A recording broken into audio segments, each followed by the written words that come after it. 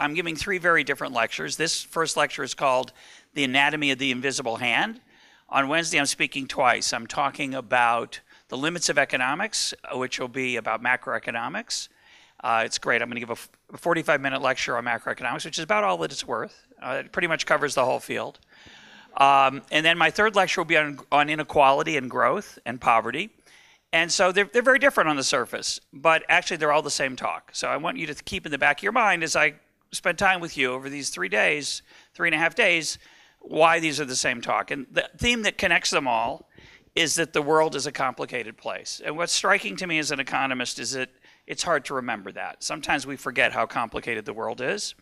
Economics can help you understand that complexity, appreciate that complexity, uh, but it has its limits, and that's going to be my theme across all my talks. Now, the other day, my son and I were trying to decide what to eat, and uh, he wanted steak, and I wanted something lighter. And uh, we, so we talked it over, and we eventually we couldn't give exactly what we wanted, so we, we compromised. We went to a pizza place. He got a pizza, and I got a salad. We both were pretty happy. So that's what we decided. We decided we would have we'd go to the pizza place. Now, when I use the phrase "we decided," we decided, and how would I say that in Hebrew? Somebody help me out. Anachnu. Chalatnu. Nechalatnu. Echlatnu. Anachnu echlatnu. When I say that, you have an idea what that means when I tell you that it was my son and I. Maybe there was an argument. Maybe maybe one of us said, "Oh, we got steak last night. Aren't you in the mood for something different?" Maybe he said, "Oh, salad's not good for you. You should be eating more protein." Who knows? But you have an idea when I say we decided that what that means, right? We know what that means in language. We decided. Now, if it's a bigger group, let's suppose the first three or four, let's make it a little more challenging. The first five people over here have to decide what to do during the break. They're thinking maybe we should take a little in the afternoon break. You have a little more time. Maybe we should take a run. Maybe we should go for a swim. But they're all friends and they all want to do something together. And they talk it over and they realize, well, we've got a few days here. Maybe today we'll swim tomorrow. And they come to a decision and they decide. We know what that means. Now, as the group gets bigger, we understand that deciding gets harder, right? So, what do we do with the big group? Somebody raise your hand, tell me. What do we do with the big group? We vote, typically. Not always, but we, we could have, there's not the, that's not the only way we decide things as a big group. That's the obvious way that we see in real life. What's another way? We could argue and convince. What else could we do? We could fight, right? I could say, look, we're going for pizza. I've got a gun. We're going for pizza. That's it, right? That's another way things get decided in the real world through force, right? So there's a lot of different ways, but we're in a large group and we vote. Even that statement, oh, we decided, we, we, we put it, the, the expression in English is, we put it to a vote. What does that mean? What does that mean? What? The vote decided, but how do we vote? There are a lot of different ways. We could have a majority, that would be one way. That's the way we normally think. What are some other ways? We could have unanimity. What's unanimity? Everyone has to agree. In America, I don't know how it works in Israel, in America, a jury is 12 people who decide the innocence or guilt of a person after in a trial. It has to be unanimous. They argue with each other. Sometimes it takes 10 minutes. Everybody agrees. Sometimes it takes days to come to decide, okay? So deciding is a complicated thing among a large group of people. It could be unanimity, it could be majority, it could be what we call in, in English a supermajority. What is that? Anybody know? Two thirds, three quarters sometimes, right? What unanimity means, when it has to be unanimous, it means everybody has what? No. Everybody has equal vote in some sense, but everybody has the equal vote to do one thing, which is what? Stop it. Veto power. That's the phrase in English. Everybody has a veto, an ability to stop it. So those are the ways we, we use the word we decide and then when we go to the political process, if I say that the Knesset decided something or Congress decided something, we know what that means too. Now, those of us who aren't political science students probably can't explain it very carefully. We know it has something to do with committees and agendas and coalitions. Maybe there's what's called uh, log rolling in English or vote trading or agreements on the side. There's all kinds of things that happen through the political process. But if I say to you, the Knesset decided the other day to do this, that, or the other. You all know what that means. We all have an idea of what that means. But there's another kind of decision that takes place in the world that we don't know what it means. It's very complicated. So we decided, my son and I decided to go out for pizza, but who decided that it's okay to use Google as a verb? Who decided? Now, I don't know what the Hebrew word is in, in, for to now.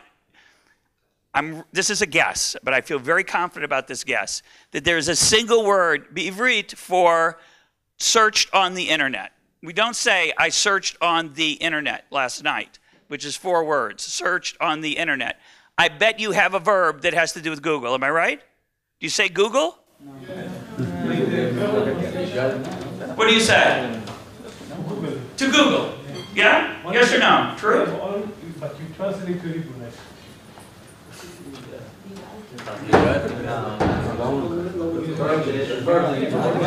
What? You say Google it, right? To SMS is another word, right? You have, you have little shorthands, little phrases to, to help you communicate. And, and who decided that it's okay to say Google as a verb, but it's not okay to use Enron as a noun? Now, how many people know what Enron is? Does anybody know what Enron is? Enron is an American corporation that got involved in a lot of corruption and fraud and basically blew itself up and disappeared. And I'd like to, wouldn't it be nice if I could call a dishonest, immoral person an Enron? Oh, what an Enron, right? It's like a moron, but more complicated, right? With a little bit of subtlety to it. But I can't, I can do that if I want, but what will happen? No one will know what I'm talking about. But why is it that I can use Google, which is a bizarre thing, it's the name of a company, and everybody knows what I'm talking about. And who decided? And interestingly, the company Google does not like that people use Google as a verb. I have a friend who works at Google, and he tells me if they use Google in a memo, right, as a verb, they get sent back and they say, fix this, don't say this, right? Now, there are many words in English that come from a corporation's name that have become everyday language. I don't see any around, but an example would be Kleenex. Kleenex is something you blow your nose in. It's a tissue, is the actual English word, but a lot of people have come to call it a Kleenex. Now, Kleenex doesn't like you to call it a Kleenex. You'd think they'd like it. It's good advertising. But they don't like it because it means they lose control over the name once it becomes a regular English word. So Google tries to stop the use of the word Google as a verb, but they can't stop it. They cannot stop it. They try, but they have no control over it whatsoever, which is kind of ironic. So, what do I call that? What's the verb I use to describe Google becoming a legitimate phrase and word in the English language? You could say, we decided to use Google as the phrase for searched on the internet. But how does that word decided apply in this case compared to the cases we were talking about? In the case of my son and I having dinner, how did we decide? we talked, we had a discussion, we talked back and forth. In this, if we decided in the group, hey, we started 10 minutes late, should we cut this presentation short by 10 minutes or should we go 10 minutes into the break? If we actually had a conversation about that, it would be very different than the conversation we're having. And maybe the people running the conference would make that decision, just like in a family. Uh, we make a decision about where we go on vacation, say we don't have a vote, literally. Too bad the, the parents tend to decide, and then the parents deciding is a complicated process. But none of those phrases, none of those examples, none of those situations capture what happens with Google becoming a verb. Why? What's different about Google becoming a verb and the decision that it's okay to do that? And by the way, the New York Times, for example, did not like the word blog. Okay? It sounded blog. Yeah, it's awful. So they had weblog for a long time. That was official New York Times policy. They gave up. They can't say weblog. You sound like an idiot. Blog. Everybody uses blog. How did that decision take place? It's clearly not the same. No communication took place among the people who want to use the word or who don't like the word, or the word meat space. Anybody know what meat space is? Meat space is a word that didn't catch on. You can see it now and then, you'll find it. Meat space is a word to describe this world. There's the world of virtual, the virtual world, things that take place in the cloud and the internet. Like Amazon is in the virtual world. But if you go to a bookstore, that's meat space. That's bricks and mortar and real. It's an ugly word, isn't it? Meat space? It sounds horrible. It's M E A T, not M E E T. Meat space. That word didn't catch on. You have never heard of it. It's not a good word. Who decided that meat space is out, but Google is in? Who decided that ruthless, the English word ruthless, what does ruthless mean? Without pity. Ruthless, everybody can use in English, but nobody says Ruth. They used to. They used to say, boy, she has a lot of Ruth, and he's ruthless. Not anymore. You can't say Ruth. Nobody know what you're talking about. So how does that process take place? What's the decision making? There's no national conversation. There's no compromise. It just happened without anyone coordinating or managing the decision. It looks like a memo went out. Okay, it's okay to use blog now. It's okay to use Google, but that isn't what happened. We understand something about the process. What's what do we understand about the process? We understand kind of an obvious thing, which is what? How does that actually happen that Google got used? It's easier. It's easier. So what happened? Somebody, think about it. There had to be somebody. There had to be somebody who used it for the first time. Who was that person? We have no idea, right? Sometimes, by the way, this happens with a joke. A joke, somebody thinks up a joke. Somebody has to invent a joke, but nobody knows who it is. It sweeps through the country. Everybody's telling everyone else the joke, and this, the origin of the joke is mysterious. I'll never forget it. I'd love to tell you the joke, but since we started late, I'm not going to tell you. But I once heard a fabulous joke, which I'll, have, I'll tell you at lunch if you'd like. It's a bizarre, strange joke. I heard it on the Johnny Carson show, which is a very long time ago. So this guy comes on. He's a very strange comedian. His name is Pete Barbutti. And he comes on and he tells this joke, and the crowd goes nuts. It's an incredibly weird and funny joke. Then two nights later, maybe the next night, a guy comes on the Johnny Carson show and tries to tell the same joke. Why? He didn't hear it on Johnny Carson. He heard it through somebody else, and he thought it was funny, and he thought, hey, I'm going to sound funny. And Johnny Carson stopped him and wouldn't let him tell the joke, right? Because it was too late. It had already been told on his show. But that's how jokes spread, like we say in English, like wildfire. They kind of just move around. And the same is true with great words that get invented, like Google. Nobody knows how they get started. If they're a good word, they stick, and if they're not, they don't stick. And we have a phrase for that. We call it, really, it's word, ironically, word of mouth in English. We'd say it spreads by word of mouth, meaning uh, one person tells another, but think about it. Nobody says, hey, you know, wouldn't it be great if their word for describing search on the internet? What do you think, Google? That's, that's kind of good. Google? That's weird. It's the company's name. Now let's try it. And they start telling their friends. That's not what happens. It just kind of happens. So it's not literally the way word of mouth is like, oh, I found a great restaurant, which is how word of mouth often works. Now, the English language, and Hebrew, of course, is a very unusual case of a language, right? Modern Hebrew was to some extent invented, right? Written down, created, planned, managed, but not modern Hebrew today. Modern Hebrew today is like English today. It's alive, it's organic, it is, things emerge, die. Think about how strange it is. There's some great things about English. Here's, a, here's one do not becomes don't. That's more efficient. You save a, save a letter and a space, right? It's great. You have to add a little thing, but it's, it's pretty good. But then you have debt. D E B T. That's a, clearly an error. It should be spelled D E T. Debt. You don't need the B. The B is a waste. You'd think you, if it were a committee, if a committee were in charge of English, they'd have a vote. They'd get rid of B in the word debt. It would be debt, D E T. There are all kinds of things in English, as you know, as if you're not a native English speaker, that are very annoying. The, the nouns are very irregular, extremely irregular, right? How about flammable and inflammable? Flammable and inflammable means the same thing. They both can catch on fire. Those should be two different things. That's a terrible decision. But we decided that flammable and inflammable are the same word and it hasn't been changed yet. Maybe someday it'll change.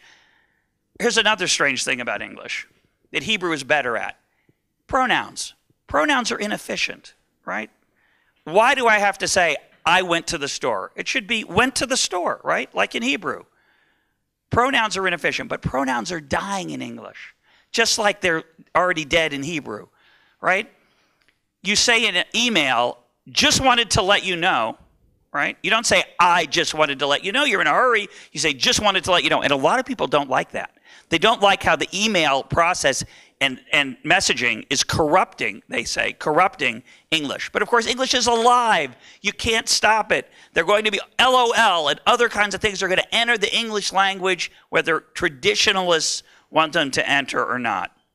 So maybe, so punch bottom line on English. It's pretty good.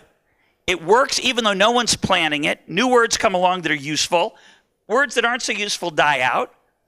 And you'd think, well, maybe it would be better to have a committee that would actually decide what is good English and what is not.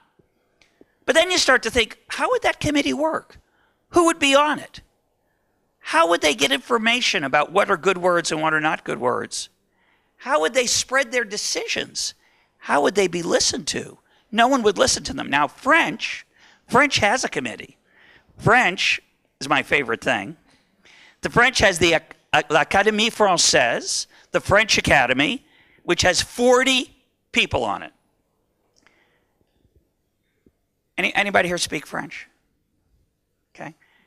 Now, the members of the Academy are called, you're going to say it better than I can. You're going to say it better than I can. No, you're not going to try it. Can I have a French speaking person to volunteer here? Anyway, I'll, let me butcher it. It's, they're called Les Immortels. Les Immortels. Les Immortels, of course.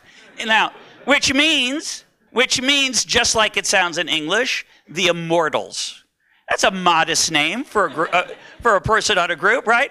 Uh, what should we call ourselves? How about the immortals? Uh, you know, humble, right? The immortals. Can you believe that's the greatest name? But here's what's great about it they are in charge of the most beautiful language in the world French. It's a big responsibility. They think they're in charge, but of course they're not in charge. So they don't like what French people use to describe Saturday and Sunday. Saturday and Sunday in France is called what? Le weekend. That's an American word. That's disgusting. It's dégoût. How do you say disgusting? Dégoûtant. It's disgusting. It's an American word. We should have our own French word. Fin de semaine. End of the week. That's Friday and that's Saturday and Sunday, not le weekend. But every French person, and in fact, there's a movie coming out called Le Weekend. It's humiliating to the immortals. They're very upset about it. So, who is in charge of the language of English? Who's in charge of the language of French? Not the immortals, not the Académie Française. We're in charge. We decide what's good English. We decide what's good French. But what does that mean? It's not the same process. We don't have a word to describe the process by which languages emerge and evolve. It's not a random process. It has a feeling of being designed or managed, but it is not designed or managed. If you don't like it, you don't like the weekend, too bad. You don't like Google, too bad. Who do you complain to? Think about that. You don't like the weekend, complain to us? There's nobody to complain to. We're left with a paradoxical conclusion. No one is in charge of English, yet somehow we are all in charge. We decide what is good English and what is not. And the mechanism by which we decide is unmanaged, unpredictable, and a bit opaque, unclear. But at the same time, it's not random. English has an orderliness to it that, while not perfect, makes some sense. So I want to take another example, not just a fun example, something that's alive, works pretty well, not great, but pretty well, pretty functional despite a lack of central command and control. But now let's take a more interesting example. Let's suppose a few hundred million Chinese people living in the countryside decide to move to the cities. I want you to think for a minute about the economic chaos that that should create, not just in China, but around the world, right? Because people who live in the countryside live very different lives than people who live in the city. And just to take two obvious examples, I'm going to focus on one. There are going to be a lot more bicycles, right?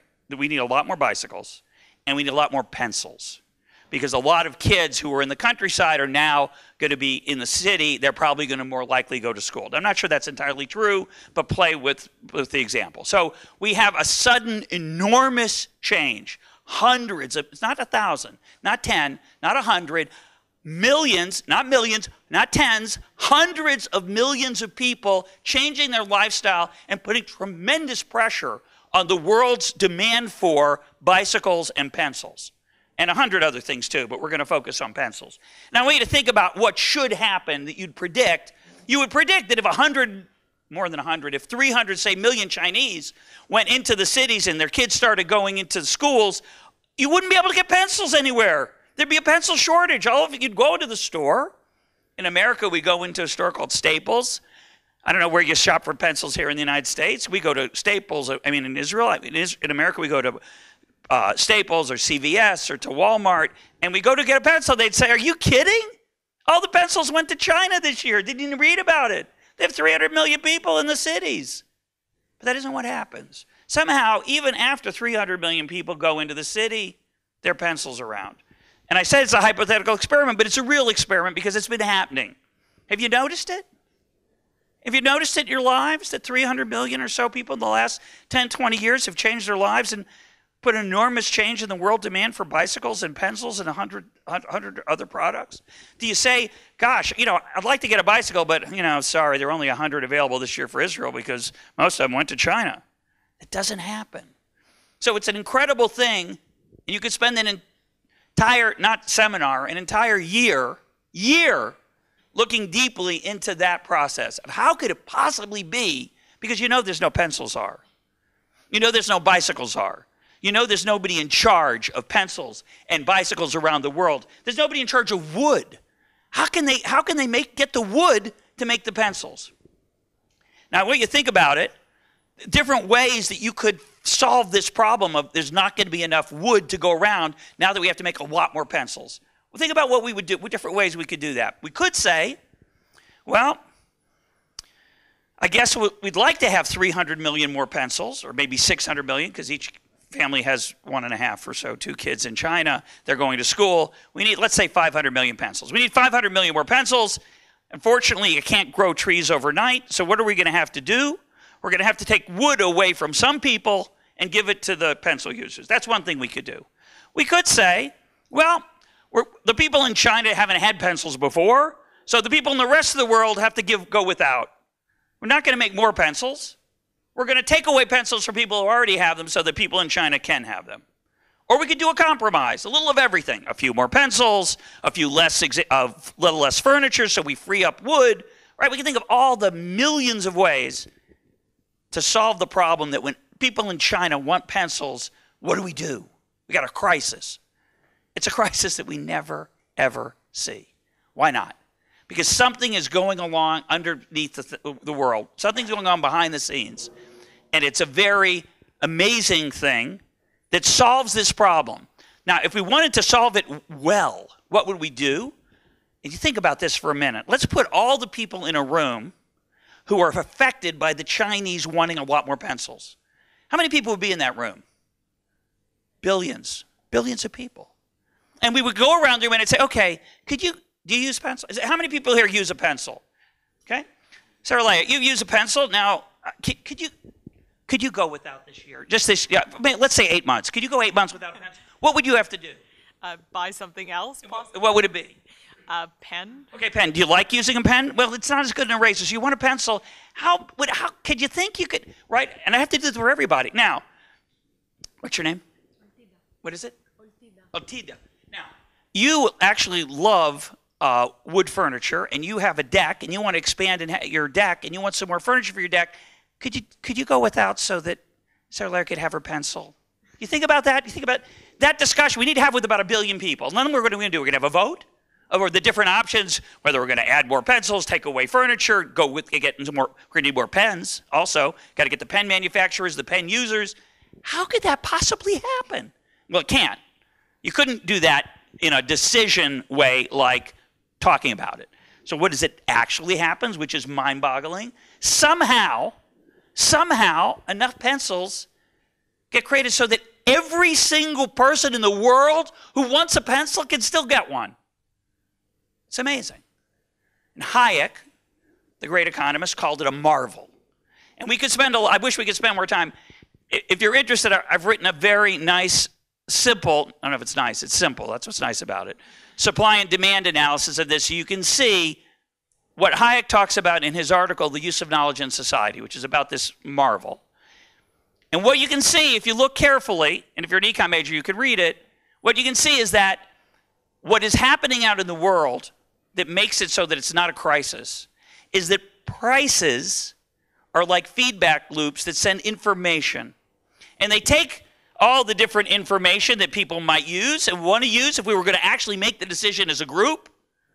And it the prices help that information to get used in what combination of stuff is going to happen to deal with this crisis. And I just said that. It, it, doesn't make any sense. I know that you can't understand that. It's a wild and ridiculous idea. Let me try to say it again. Here's the ridiculous idea inside the heads of the 2 billion people who are affected by this the people who like furniture, the people who like pens, the people who like anything that uses wood, anything that uses graphite, the center of the pencil. If all those people were in a big room and we could get all the information from them that we wanted, including asking the people who grow cedar, the wood that's used in a pencil, how hard would it be for you to expand by 15%? How long would it take you to grow more wood? How about graphite? Can you dig a little bit more up out of the ground? If I asked that question of every single person who mattered, and I took the answers to that and I processed them in some way to come to a compromise decision, I could come up with some kind of decision that would actually make sense. And no one does that. There's no committee, there's nobody in charge, there's no expert, and yet somehow that information gets used by what's called a market. And that word, a market, to describe this magical, seemingly magical way that information gets used is not the right word. But we don't have a better word. Because a market means like the stock market, it means like the farmer's market where you can buy produce and fruit and vegetables. But what's really going on with the market is something much more complicated. And I don't like the word, but I don't get to choose it. it's not in my control. I'm like Google. I can't, I wish there were a different word, but that's the word we have.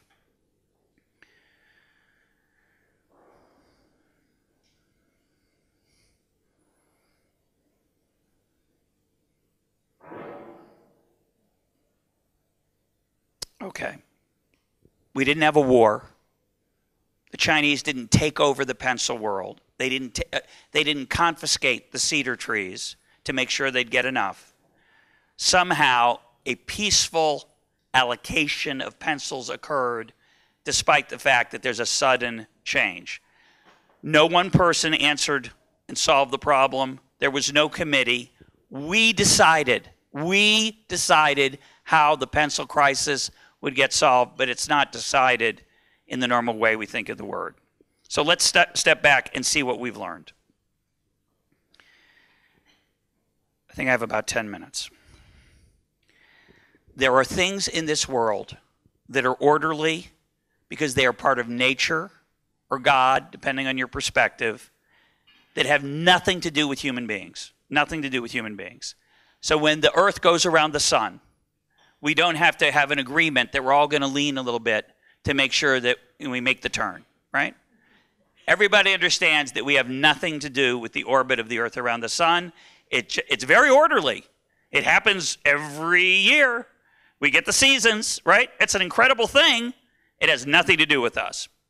There's a whole bunch of other stuff that we do that we have intention, we have a plan, we have conscious decision making, we execute the plan. That would be things like doing the dishes, right?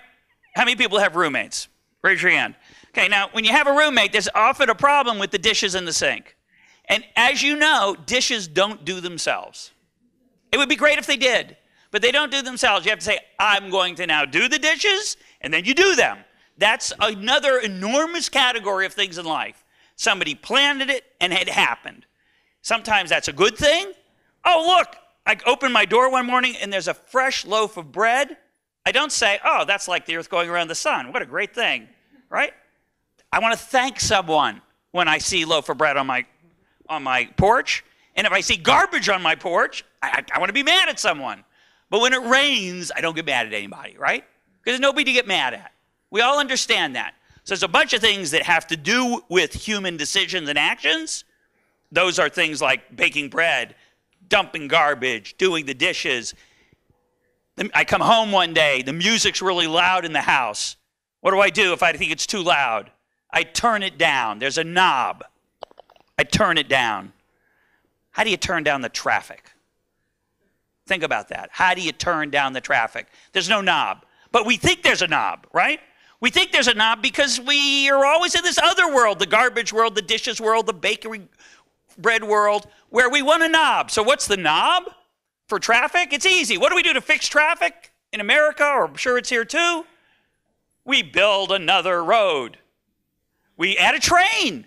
What could be more obvious that a train is going to reduce traffic?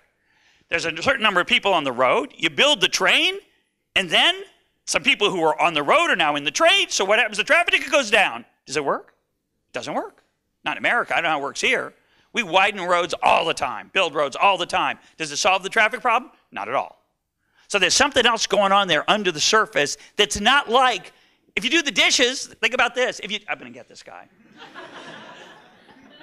you ever see uh, There's a great movie. There's a great movie. Uh, if you ever see the movie Yojimbo, there's a great fly scene. But um, uh, that's another story. So you can't turn down the traffic. So the logic, think of the logic. If I have a pile of dishes, I have 20 dishes. If I do one, how many are left? 19. Why does the traffic work like that? It doesn't. Because traffic is part of what I'm trying to call today, I've called it a market. It's really what I would call emergent order, emergent order, organic systems, things that are connected in non obvious ways to each other.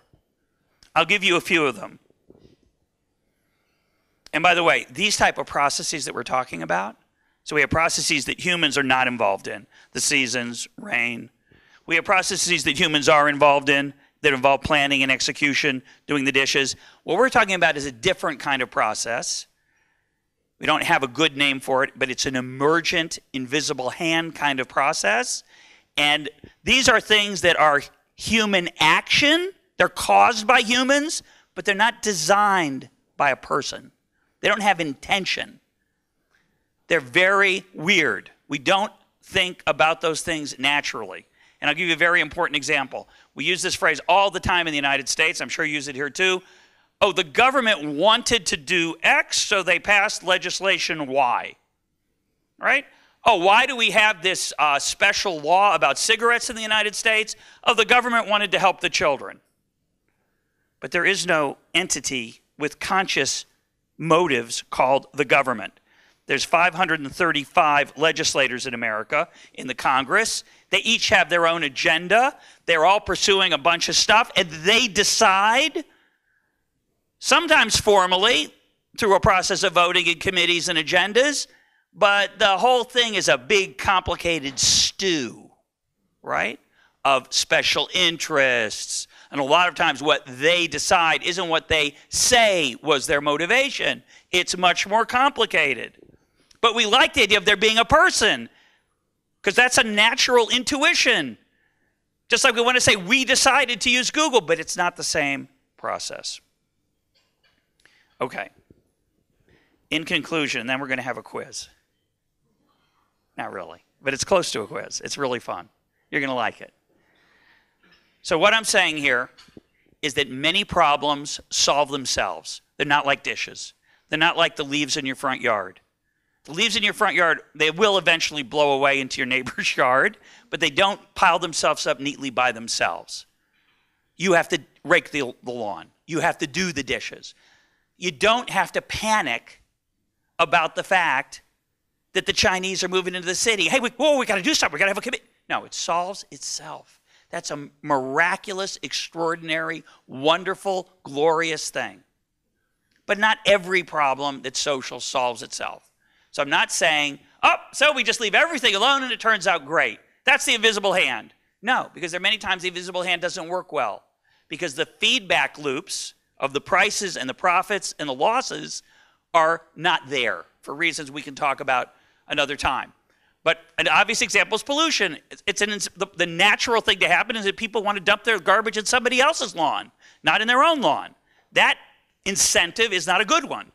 But if I can make money providing more cedar when it's scarce, that's a good feedback loop, right? If I can work harder because I see there's a chance to make more pencils and make more profit, that's a good feedback loop. So some feedback loops work well and some are not so good. And in the case of the English language or the Hebrew language, the feedback loops are extremely weak. So the language kind of bumps along. It doesn't do a perfect job, but it's, it's pretty good. By the way, when I say that things happen without anybody planning them, that doesn't mean there isn't planning in the system. There's lots of planning taking place at the individual and at the firm level, the company level, but there's no global plan to coordinate all the different pieces of the puzzle. So there's planning, but it's not done from the top down, it's done from the bottom up. What I want you to understand is that there are processes out there in the world that come from human beings that are not designed but look like when they're done like they're orderly. There are things like language. There are things like the price of pencils. There are things like the noise in the dining room last night. While we're sitting having dinner last night, there's a certain level of noise, and I'm older than you, and it's sometimes I don't hear so well. And if I'd get up and say, you know, I'm, I'm having a little trouble hearing, can everybody talk a little more quietly? What would happen? Nothing. For about 15 seconds, people would, would, be a little quieter. Then the natural noise level would start to rise, and it would reach some kind of bizarre equilibrium that no one wants it to be. We decide what the level of noise is, but it's not planned by anybody. Traffic is another emergent system. Language, the politeness of Israeli culture is emergent. Nobody's in charge of it. I actually went to a meeting in my in my neighborhood in Maryland where someone came out, came called a meeting of people. And they said, "Look, Israelis, it would be great if Israel's culture was a little more polite. So let's fix it." Oh, really? Interesting. How would you do that? We're going to put up billboards. Are you crazy? Right? As an economist, I look at that and I think this is sad. This isn't a great. I mean, it'd be nice if Israel were more polite or America were more polite. It's lovely right? And in certain dimensions, I'm sure Israel is more polite now. I will say, as a, as a true statement, I think. When I'm in a store in Israel today, I was here in 1971. In 1971, people were really rude to you in the store. They're nicer now. I think there's a reason for it. We, that's another conversation. But things do change. We're not saying it's fixed by, by, you know, things you can't control. Things are alive, right? They respond to all kinds of complicated incentives. They're connected in all kinds of complicated ways. And if you try to steer them, you're going to have a tough time. And we are, you know, Omer Moav's speech last night was full of examples where things that I thought I saw the connection. I mean, what would be more logical than saying, if I think rents are too high, I should just pass a law on low rents? That seems like a great idea, but it's more complicated than that. So, lessons. Fixing things in these complicated systems sometimes lead to unintended consequences.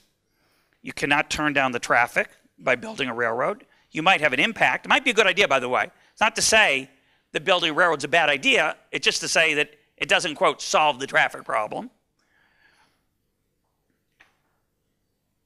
The world is a complicated place. The economy is more like a garden than, the, than an engine.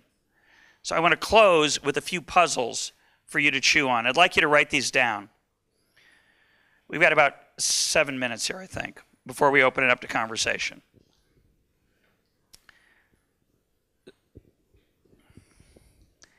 I think I'm going to do a little experiment here. Okay? I'm going to give you these puzzles.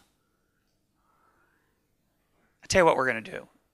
I'm going to stop here. We're going to have a conversation. I'm going to leave five minutes to the end, at the end, and at the end, I'm going to give you these puzzles, and we'll break up into little groups of four, and I'll see if you can come up with the answer, okay? And Ezra's group could have an advantage. Uh, Ezra's my son. Uh, I know he knows the answer to one of the four puzzles, and that could be of assistance. So you might want to decide where you make the break point over there. But let me let me let me stop here, and and I want to open it up for conversation. And when when I say conversation, my preference is not that you ask me questions and I, we take turns of me answering them. I'd like, if possible, you to discuss what I've talked about among yourselves, okay? So I'm gonna, I would rather be a facilitator. Might not work. Might just be more like a press conference, all right? But I prefer it to be more like a moderated conversation. So who wants to start us off? Yeah. Um, first of all, I like the, the example of the, the, linguistics example, and I think that uh, in Israel we have a great example of it that you can uh, make great use of. There is an Academy of Linguistics in Israel, uh, and it does actually wrote an article about it, and it does, it does try to regulate the market and, and the sense of, um, of creating new words like Google. Right. But if you, you can check it, you can check it out, and the words are so so out of the, out of, the minute they get out, they're out, they're out of date. And that's uh, the best case scenario. The worst case scenario is they have nothing to do with the right. With the. And nobody so, uses them. Yeah. Yeah. So if you take that as an example, you can learn a lot of how tries to, to, to, to, imitate the market and fails to. So it, I just have to mention because it's such an incredible story. There's an amazing book written by Simon Winchester called The Professor and the Madman. Anybody read that book by any chance? So the professor is uh, Professor Murray. Professor Murray is a, um, a linguistic expert of, of in England in, uh, in I think the 19th century. And this is how the book opens. Okay. So Professor Murray is in charge of the greatest language project of all time, the Oxford English Dictionary. The Oxford English Dictionary is Talmudic. It's you know this big.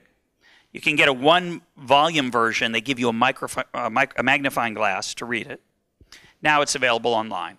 But it's an incredible achievement because he, what he wanted to do was to find every single word in the English language, define it, and find the first use of it in print. It's an impossible task. So, what did he do? He crowdsourced it, which is a great word, by the way, that didn't exist eight years ago. To crowdsource, right? We all know what that word means, right? Do we know what it means? Is there a Hebrew equivalent? Crowdsource means to get a whole bunch of people working together, again, without a boss or coordinator, to solve a problem. So a, to, a crowdsourced problem solving would be I just put up on my blog, I'm going to Israel. Um, give me some recommendations for, ex, for, for restaurants in, in, in Jerusalem. And a bunch of people would tell me, some people would argue back and forth, and then I'd have an answer to where I should eat, right? That's crowdsourcing. So Wikipedia is the greatest crowdsourcing project of our era, right? There's, there's no editor. There are sort of editors of different parts, but a lot of it just happens. And by the way, economists who are brilliant are totally wrong about Wikipedia. They would have said, if you'd asked before Wikipedia, could Wikipedia exist? They'd say, of course not. There's no incentives, there's no profit. It's going to be awful. It'll be terrible. It won't be as good as an Encyclopedia Britannica, which has, you know, real experts and well, Wikipedia I think is much better than Encyclopedia Britannica. One reason is it's alive, right? It changes it corrects mistakes very quickly because it's crowdsourced. So Mr. Murray, Professor Murray, realizes that he can't by himself, and even with a staff, find all the first time that English language words are used. So he asks the world, send me a postcard, send me a letter every time you can find a, a version of a word that's old. So he gets all these postcards and letters, and, and some of them don't agree, and he, they get corrected. Older, older ones get established. And he has one man who has produced more of the answers, more of the origins of the words than any other contributor. Hundreds and hundreds of words have come from one person. He's very, he wants to meet this man. This takes place over decades. So the book opens with him going to visit. They, make, they finally agree to a time, and uh, Murray goes to meet this man, and he pulls. He gets the address, and he pulls up to the long, beautiful driveway. There's a huge mansion, and he goes to the front. It goes into the front door, and there's a distinguished looking gentleman there, and he shakes his hand and says, It's great to meet you, Mr. I forget his name, Mr. So and so. You've been such a great help to me.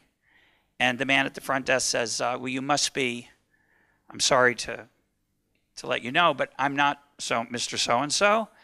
Mr. So and so is here, but I'm not him. And this is a, uh, a house for the insane. And he is here as a patient and has been here for many years. So here's this guy who's been getting everything by letter. And it turns out that the man who has been his greatest help is clinically insane. And his, the reason he can't come to visit him is that they don't let him out. That's the first three pages of the book. The rest of it's even more fantastic. But the thing that I want to tell you that's so bizarre is it took decades to get A, B, and a few letters out of the dictionary. And by the time those volumes came out, they were totally out of date. Even in 18 in the 1800s. Today it's it's ridiculous how many words are getting constantly created. So anyway, sorry. I just it's it's an incredible book. It's uh sorry to go off on that tangent, but yeah. Any uh, other comments or questions? Yeah. You spoke about the changes that occurred, and to connect to last night maybe for a second, you spoke about how there are inefficiencies in the government, um, which is easy to touch on and saying, why does that happen? But I'll bridge to a different area. What, most of us are in school, almost all of us are in school now, we're teaching. And I think that a lot of times we're going to do an introduction to microeconomics, and macroeconomics, and I feel that through the textbook and professor, I don't feel that this feeling of change and the differences and even in more advanced courses that this is what's touched on. Is there a reason why our classes stay a little more archaic than changing? I guess I have to answer that, don't I? Um, um, let me try to answer that in, a, in an unusual way. Uh, there's a simple answer, and there's a complicated answer. The simple answer is the incentives to be a great professor are not so great. That's the facts, right? That's just a fact. Why that's true, why the feedback loops for academic life are what they are, is not easily answered. It's a complicated set of, of institutions, norms, culture, power, subsidies, right? I think the world will be very different. I don't know how it works in Israel, but in America, the students are not the most important source of revenue. The government is. So that changes everything, right? That changes everything. And you shouldn't be surprised that changes everything. Some of it's good. There's many good things about that, by the way, right? It's not, but it's not so good for the students, right? At a, at a great American university, the teachers don't pay as much attention to the students as they do to their own research, because that's where the rewards are. When I was at UCLA, um, and I used to talk about how much I love teaching, my colleagues laughed at me. They made fun of me? Because they said that was, what are you, wasting your time? That's not, I'm thinking, what are you doing here? Don't you feel, I mean, you're corrupt. It's, it's okay to do research, it's fine. But how, how is it that you can sneer? How is it that you can be laugh at the idea that it's good to teach students? So that's, that's a reality in America, and I think probably somewhat here as well, for a whole bunch of, of, of related reasons. But, but I think it's a little more complicated than that. So let me give a, what I think is a more um, interesting answer. What I talked about today, and I'm going to talk about more over the next two lectures, is what I call is what I called complexity. The fact that things are interconnected in, uh, in complicated and unobvious ways.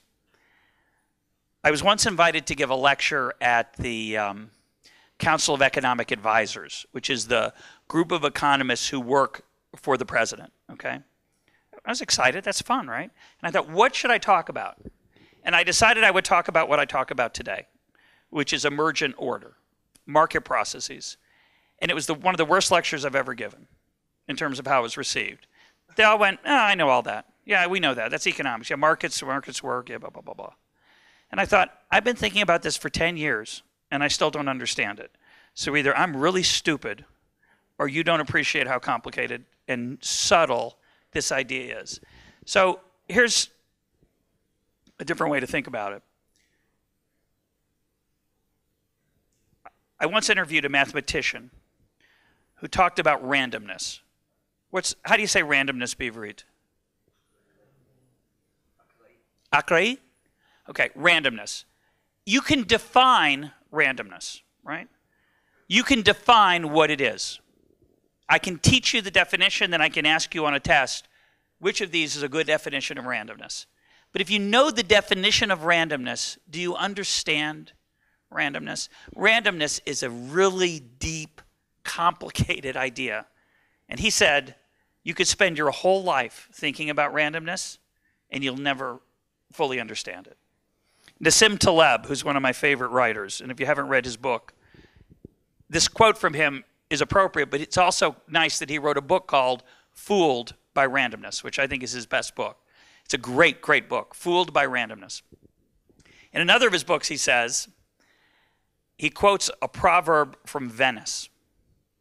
The proverb is, the farther you are from the shore, the deeper the water. What does that mean? The farther you are from the shore, the deeper the water.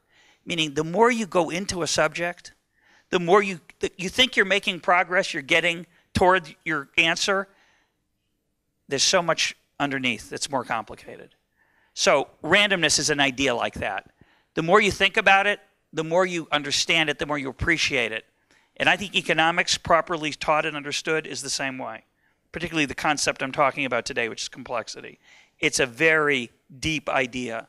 And the more you think about it, the more you understand how rich and nuanced it is and how it isn't reduced to mathematics. It can't be reduced to mathematics, just like randomness. You can, you can write a, a mathematical formula to generate random numbers, but that's not randomness. I mean, there, might be random numbers, but it doesn't mean you understand randomness because it's so much more complicated. So, one of the reasons I think microeconomics and macroeconomics are so sterile, sterile, meaning they've got no life, they're dry, they're not rich, is partly because we're lazy. We're lazy. My professor taught it to me that way, not Sam. I was, by the way, blessed to be a student of Sam Peltzman, right? He didn't teach it as a dry mathematical subject, but you take your professor's notes and you go teach like, like your professor did. So, one answer is it's custom and it gets sort of ingrained. Two is there's no incentive to change the custom because it's, it's you can do what's easy. Three, it's hard to do. Even if you want to do it better, it's not easy to do better. I just gave you a, an introduction to complexity. What's the exam? Think about this. What's the test? Let's. I, I want to see if you got anything out of the lecture, and I'm going to. I have my own way. I'm going to show you in a minute. But how would I normally find out if you got anything out of the lecture? A. The, the English language is A. Organic. B. Controlled by a committee. C. Right? That doesn't test whether you got the idea. That's a subtle idea. Multiple. How about this? X, if x equals 7, x plus, I can't give that kind of quiz that has an exact answer. I, I'm stuck with things like, what is the term that I use to describe emergent processes? A, complexity. B, complication. C, complementary, right? Those are the easy exams to grade, and those are the exams we tend to give. And that's a shame. But that's the way the system is designed. Yeah, by the way, it's not literally designed. Nobody said, let's have the universities work like this. Universities are an emergent process. A set of incentives are put in place. Customs emerge as a response to those incentives. And now it's getting shaken up a little bit by the internet. The internet is a end around, right? So you, you don't like your microeconomic class? There's 10 more online you can try. Some of them are pretty similar to yours, a lot of them are different, all right? So economics is what it is. By the way, we like to think we're scientists. We're not. We're more like art historians, which is embarrassing because we think, you know, we're like physicists.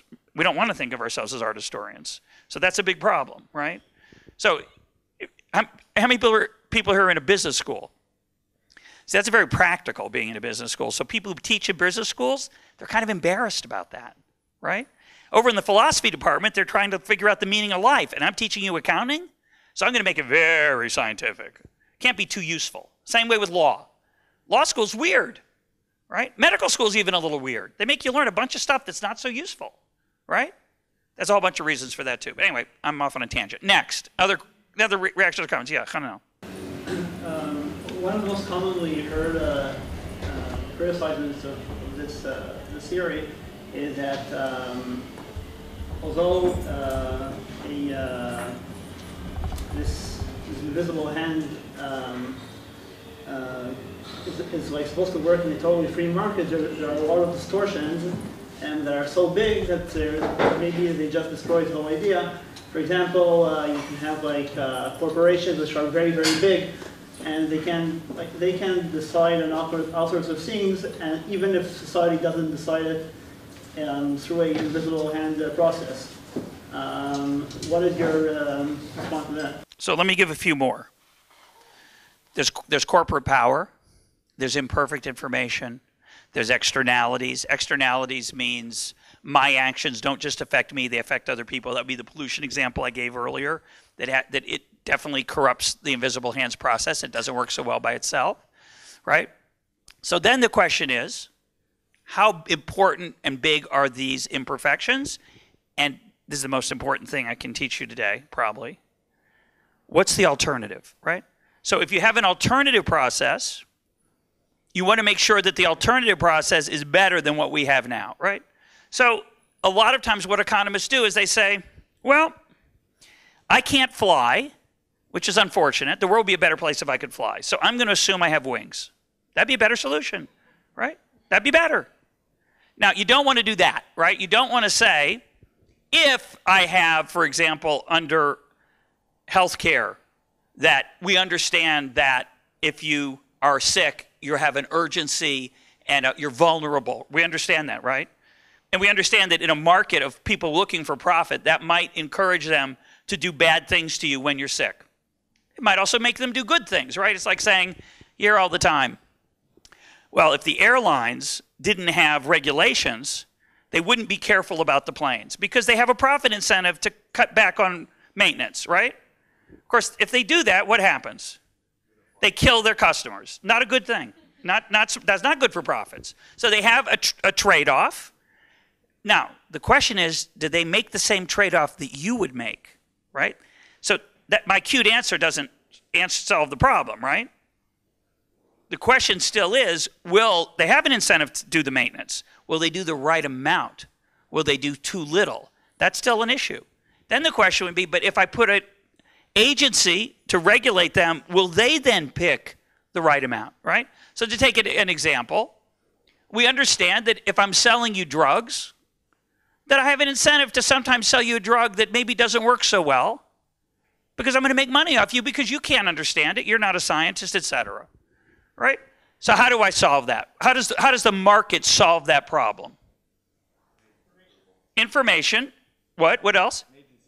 Well, right now we in America, and I'm sure you have it here, we have a thing called the Food and Drug Administration, the FDA, which has to approve all drugs. Is that good or bad? It's good. Why? What's good about it? They're careful. They make people test a lot. How long does it take to test the drug to make sure it's safe? Anybody know in America? About 15, 10 to 15 years. That's really safe. That's good. That's better. Longer is better. Unless what? Unless you're sick, in which case I want it now.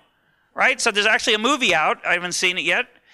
Dallas Buyers Club that got um, Matt McConaughey got Best Actor for a guy who said, "Look, I'm dying of AIDS, and these drugs aren't legal. I'm going to Mexico. I'm bringing them back, and I'm there are other people like me. We want to try them. It's better than nothing." So the advantage of FDA is it's great. It makes the world safer. The disadvantage of the FDA is it makes the world safer. Think about that. It's a little too safe. They're very cautious. Why are they maybe too cautious? What? Risk aversion. Why would they be risk averse? I'm risk averse too. I want, don't I want them to be safe? Could a drug ever be too safe? Could an airplane ever be too safe? You know what the safest airplane is? One that doesn't take off. That's the that never crashes, right? 100% safe. We don't want that airplane. It's weird, right? We want a dangerous airplane right? It's a strange thing. We want it to be a little bit dangerous, right? It's like saying there should be a fine of a million dollars every time they lose a bag because a lost luggage is very uh, annoying. But if the fine were a, were a million dollars, what would happen? There'd probably be no luggage, probably, right? Which is has a different cost. Okay, other. So so to go back to, to Handel's basic questions, there are a lot of things that are imperfect about leaving things alone. Sometimes it's better to intervene and to have regulation, to have restrictions, to have even government provision. But if you argue for that, you have to think about how government works. Sometimes it works well, sometimes not so well. And so that's the relevant question which works better? And I would argue that in some things government works better, but not always. And in some places the market works better. And invoking problems with the market, but forgetting that political processes have their own flaws is a little bit like pretending that I, if I wanted to fly, I'll just assume I have wings. What economists often do is, oh, well, we know how to fix this problem. We'll just have this solution. The political process never picks that solution, ever, because it often listens to some special interests and doesn't do what the economist thinks is the right thing. So it's a little more complicated. But let's do the, the problems, okay? So here they are. I want you to write them down. And what we're going to do here, there's four questions. Uh, and you know that that game? Um, uh, it's a children's game on like TV shows. One of these is not like the other, right? So you have like a tree and a bush and grass, and then you have a chicken. And yet one of these is not like the other. It's the chicken, right? Good. So one of these is not like the other, but it, so the challenge is you have to figure out why they're similar. The three that are similar, it's not obvious that any of these are alike because they seem to be very different, but one of them is not like the other. So here are the questions. So the first one comes from a family friend of ours, whose name I won't mention, but Ezra knows this uh, story. This friend of mine loves cats. Uh, when you come to Israel for the first time, and this is true, of course, in many countries outside of America, it's even true in America, but it's very different in Israel, you notice that there are cats that just wander around outside. I don't know what you call them in Hebrew. We call in, in, in America in English they'd be called feral, F-E-R-A-L, feral cats. It means they're not owned by anybody. They're out living on their own. Kind of grown-up cats. They're out of the house. It's nice. So in Israel, there are these cats on the on the street. Anybody like them? Some people like them. Now, many people don't like them? Raise your hand. Now, last night, by the way, poor poor Omer Moav was trying to give a nice speech, and outside this window only was a um, a terrible cat experience. That uh, you know, I was thinking I felt bad for him, but that's one reason people don't like them, But they're kind of dirty. People think so. This friend of mine, her vet, her do- cat doctor, he said, "I have a policy." if you bring me a feral cat, you bring me a cat off the street, I will give it the shots that it needs for free. And my friend said, Isn't that beautiful? That way, every time I can bring him a cat, I can get somebody to bring him a cat, there'll be one less feral cat on the street. And, you know, if it catches on, if enough people do that, we'll, we'll, we'll make a real dent. We'll really reduce the, the feral cat population. So the first question is is that true or false? And we can think about it in a literal way. If I bring in a cat, if I bring in a cat and bring it off the street and adopt it and get the shots, what if I reduce the population by one or something different? Okay, so that's the first question. Here's the second question. No, no, no. The shots are like. Um, we could kill it. That would be a more interesting question, actually. Would make it simpler. But this is this is somebody who adopts the cat. You have to bring it into your house, and and and get the shots, and and they'll and that way there's one less cat on the street. What could be true? Er, what could be that has to be true? Just arithmetic. So when I give a question like that, it's obviously not true. So you have to start thinking about why would that not be true? It's, it's just arithmetic. Okay. And by the way, in general if you could answer these questions without economics, your answers are wrong. They might be true, but they're not the interesting answer, right? So the interesting answer is what is is there anything related to these questions that I just talked about that would help you answer them? So that's the first question. Does the feral cat population go down by one or something different? Second question. If you care about the environment, hang on, I don't like clarifying questions that can give away something. So we're just going to hang on if you care about the environment and you want there to be more trees, should you use paper towels in the restroom or not? Should you wipe your hands on your pants? So, you know, I love trees. I do. So when I go into the men's room and I go wash my hands afterward and I wipe my hands on my pants instead of using up a paper towel, is that good for trees or bad for trees? That's the second question. Third question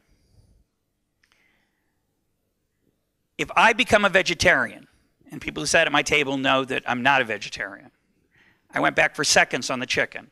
If I become a vegetarian, are there going to be more chickens in the world or fewer? Well, it seems obvious that if I stop eating chicken, there should be more chickens. So, is that really true? And the last question is there are a lot of people who like to kill whales for their blubber and skin and whatever else they do with whales. Sushi. Is there whale sushi? I don't know. But there are a lot of people who kill whales. And so if, if people stopped using products made from whales, would that increase or decrease the whale population? So you see, they're all somewhat similar, right?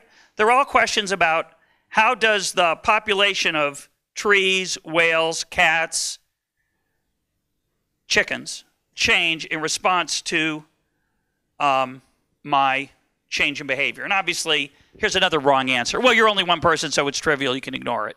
That's not interesting. It could be true, but not a good answer. It doesn't learn anything. That's not, you know, uh, any guest in the hotel could give you that answer. So that can't be the right answer. So we're going to take. I'm going to give you. It is two, four, it's uh, a 9:45. So we have we're going to take 10 minutes in groups. So here's our groups: four, you four, you four, you four, you four, you four, you four, you four. You four, you oh, Go, go, 10 minutes. See if you can get the right answer. Start arguing.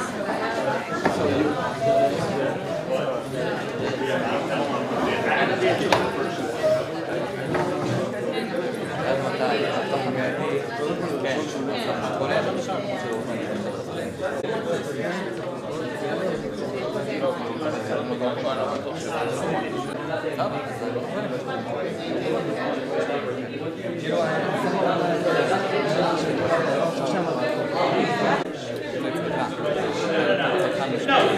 just a clarifying question, just a clarifying, and I'll take clarifying questions privately, sometimes when people ask questions, they give away answers.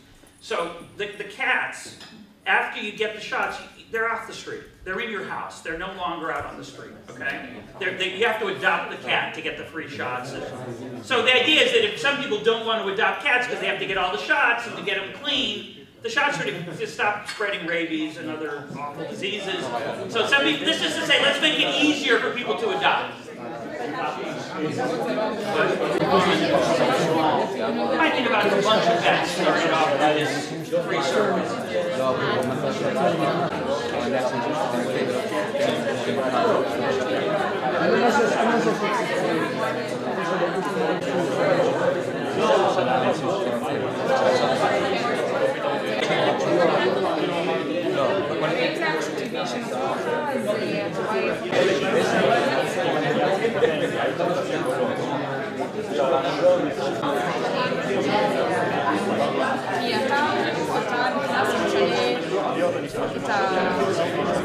if we ever do this again, and I ever get invited back, we've got to. This is where the lecture ends, right here, because we don't want the right answers. One of the things that's so fascinating about learning is that you've learned so much more from arguing about this than if I just told you the answers. If I told you the you write them down. Ah, it's interesting. By arguing about them, you process it in a totally different way. So, we'll see you next year. Okay, now. Now, I want to see how much confidence you have in your answer. How many people think they know which one's not like the other? Pretty confident. Raise your hand. It's a small group. Okay. Now, before we, before I give my answer, I, before you justify your answer, I just want to hear, I want to hear a number from your group. One, two, three, or four. Which question is different? Two. Two. One. Four. Three. Oh, good. We're getting every choice. One. Four. Four. Three. Okay, so now I'm not going to tell you the answer yet.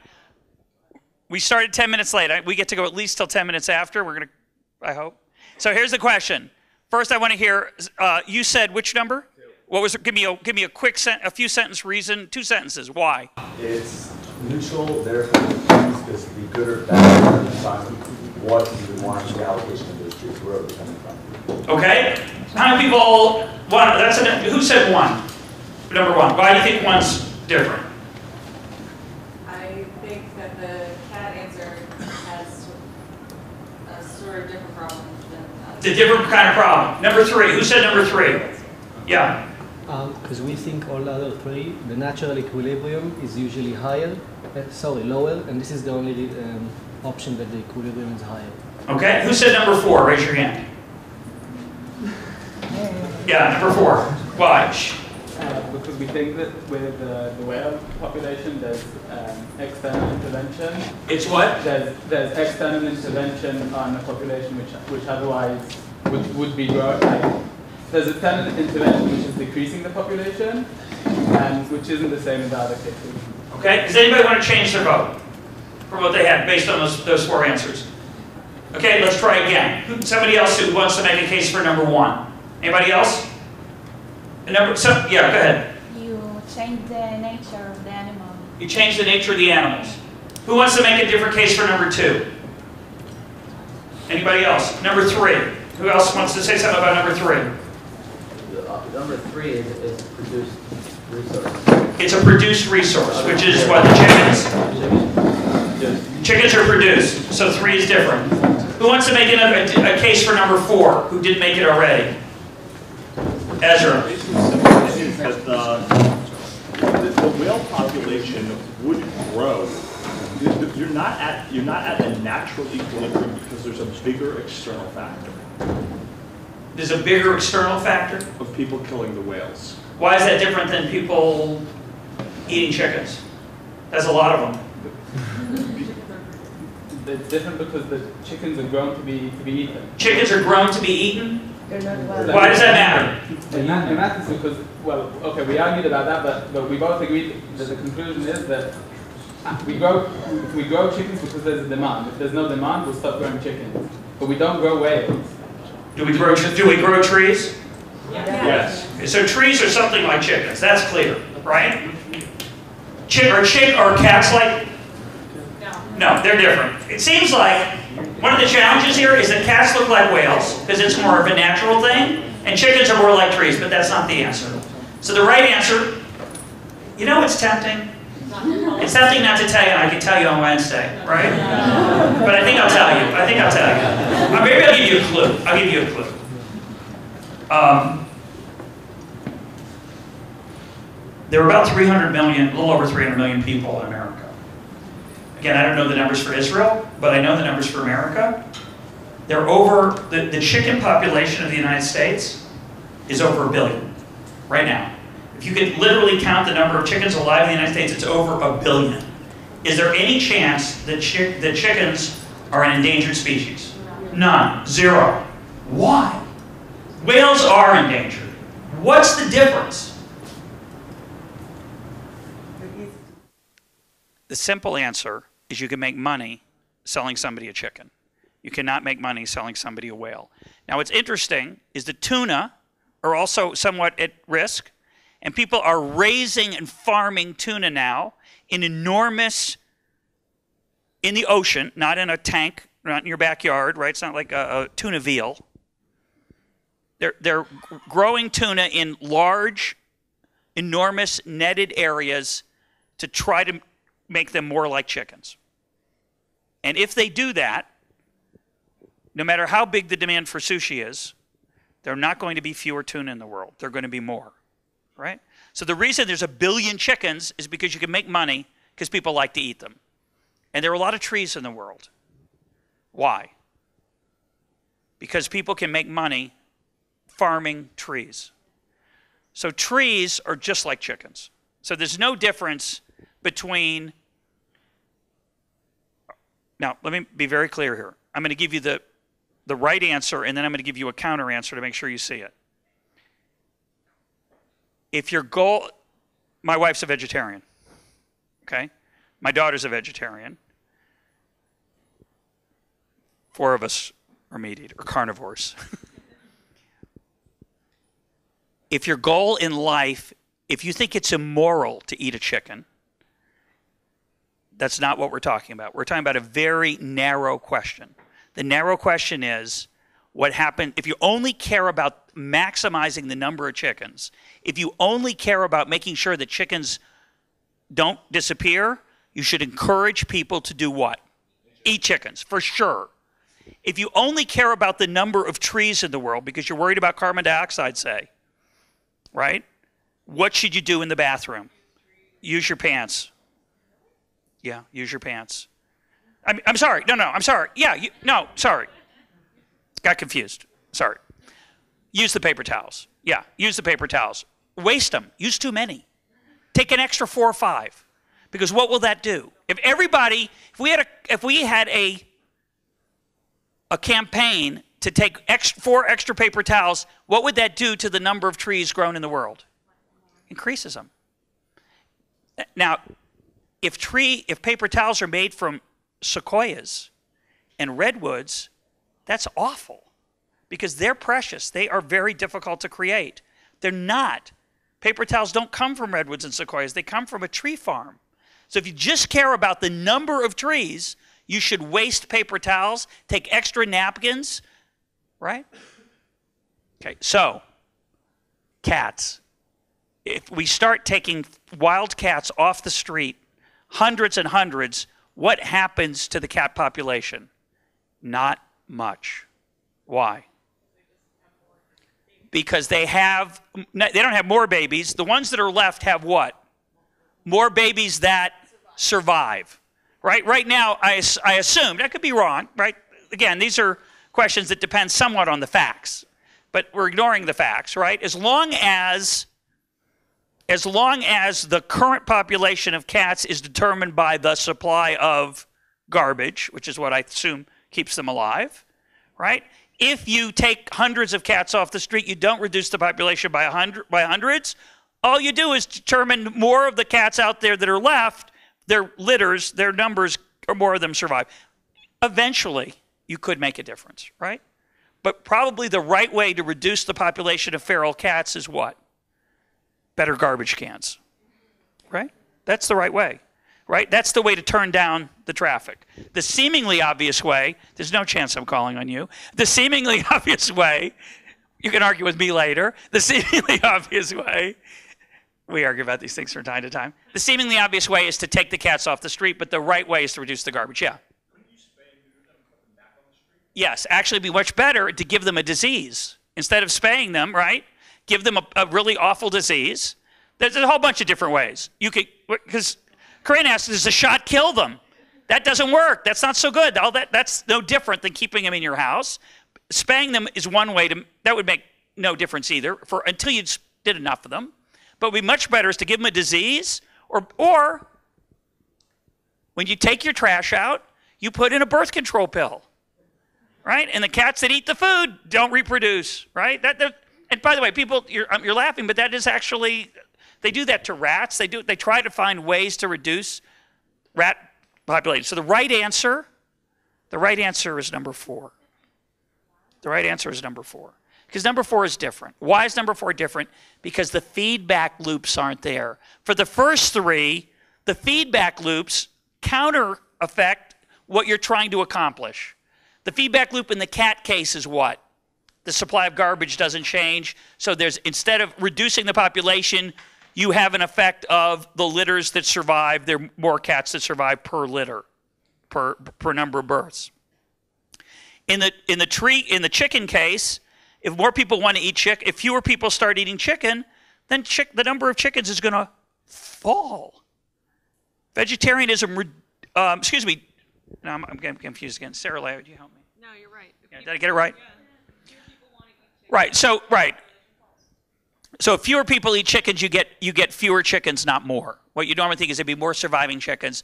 Your intuition is wrong. Your natural intuition is wrong about the first three because there's feedback loops that work to offset what you thought would be the, the effects.